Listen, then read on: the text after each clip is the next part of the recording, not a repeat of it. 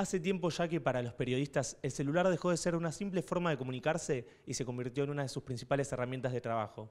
Por eso vinimos a Google, en donde están presentando una aplicación que permite compartir tus imágenes con tan solo dos clics para aprender cuál es la mejor forma de sacar fotos con nuestros smartphones. El celular vino a reemplazar en, en la fotografía cotidiana lo que la cámara reflex hacía en otros momentos.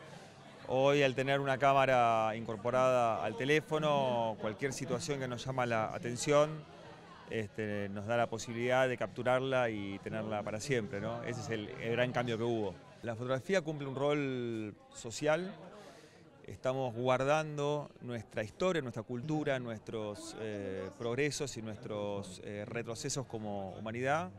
Yo creo que esa es la primera función que cumple, que está capturando lo que nuestros ojos ven eh, hay un mix entre lo que es sentir, eh, ver y obtener.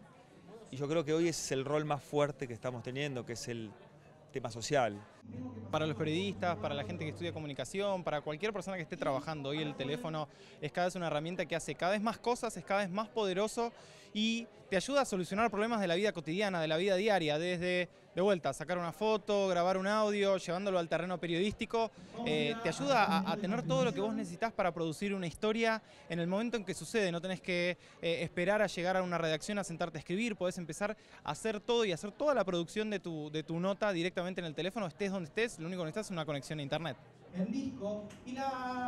Tener en cuenta la perspectiva y la luz son todos los principales consejos a la hora de sacar buenas fotos con nuestros celulares. Seguimos en Buenos Aires, seguimos por la ciudad.